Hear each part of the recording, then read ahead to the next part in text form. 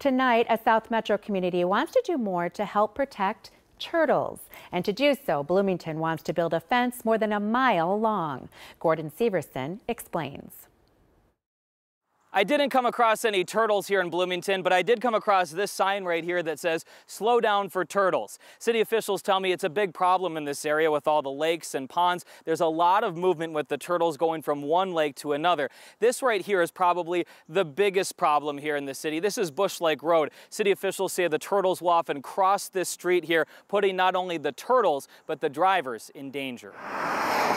You know, this is a road safety issue. You may not think of a turtle causing damage to your vehicle when you hit it, but MnDOT says the issue is when drivers swerve to avoid them or get out of the car to help them cross the street. We've had fatalities in Minnesota and surrounding states where people swerve or stop abruptly and people uh, then get into car crashes. MnDOT wildlife ecologist Christopher Smith says that's why turtle fences have already been installed in a handful of communities like Waconia, Excelsior, and Eagan and now Bloomington. The grant request is going to be for $300,000. The city is looking for federal funding to build a one mile long chain link fence along Bush Lake Road. The fence they have right now is made out of fabric and city officials say it's wearing out and it's not a long-term solution to this problem. There are just a number of wetlands that are kind of adjacent to the road on both sides. You know, they their instinct is to kind of go go back and nest where they, you know, kind of where they came from. The city will submit their grant application next week.